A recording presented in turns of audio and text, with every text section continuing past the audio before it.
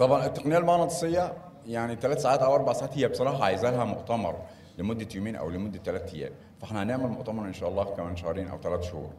لانها هي تشعبت بقى. يعني تشعبت بقى. في شغل كتير جدا في كافة التخصصات. بقى في شغل كتير على على الخضر وعلى المحاصيل وعلى الفاكهة وهكذا.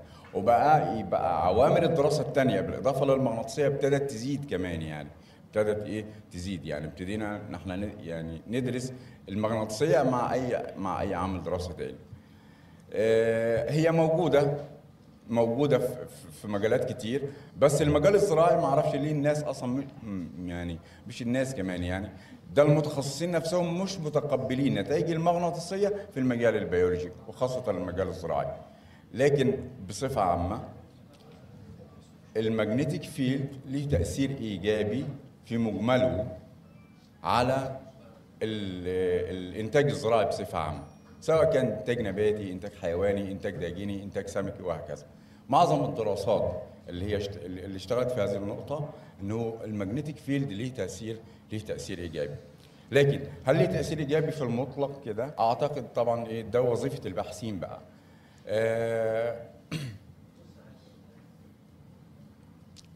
في مصر ما أعرفش يعني المتخصصين وغير المتخصصين بيبصوا لل magnetic field أو بيبصوا لل magnetic technology على أساس إنها هو جهاز اللي متمثل في الجهاز الموجود قدام حضراتكم أو موجود من أي منتج لأي شركة أخرى. ماشي هو بس ده.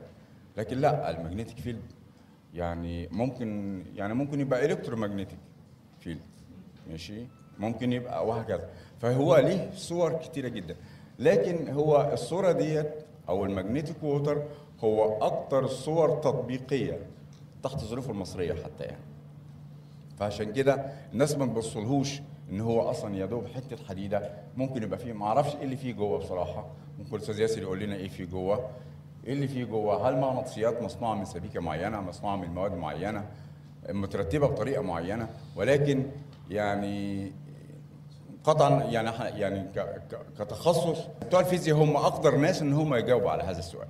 لكن إحنا كزراعيين إحنا مالناش دعوة أصلا. آه إحنا بنشوف لكن إحنا كزراعيين يهمنا النتيجة بقى. النتيجة بتاعته كانت إيه؟ كانت إيه؟ بيبقى في أقاويل كتير متضاربة. يعني أقاويل كتير متضاربة. يقول لك الجهاز ده مش شغال والجهاز ده وحش والجهاز ده كويس وهكذا. هو زي ما قلت المagnetic فيلد تأثير ليه تأثير إيجابي. يعني في معظم الدراسات كان ليه تأثير إيجابي. لكن هي الحتة بقى.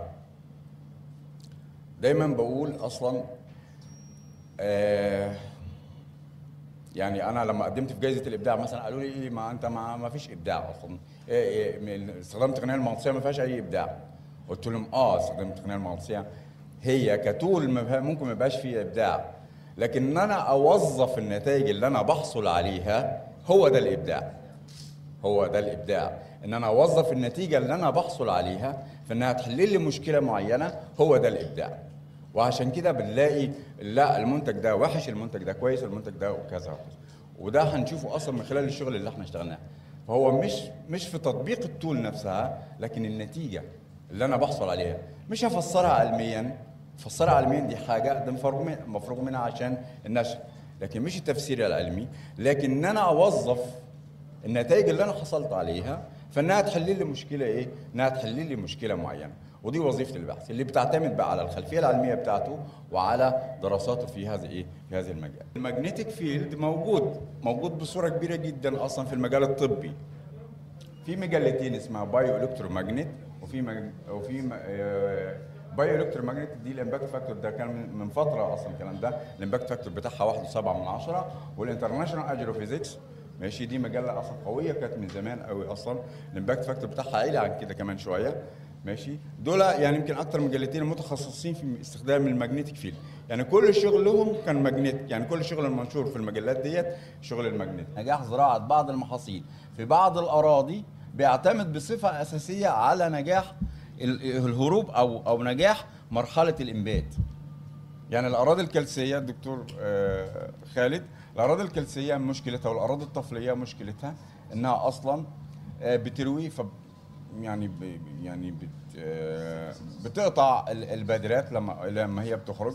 وممكن أتغلب عليها أصلا بإن إحنا أنا بوالي بوالي إيه الري لكن في الدراسات اللي اتعملت على هذا الموضوع إن أنا ممكن أهرب من الحتة دي باستخدام المagnetic إيه المagnetic فيلد.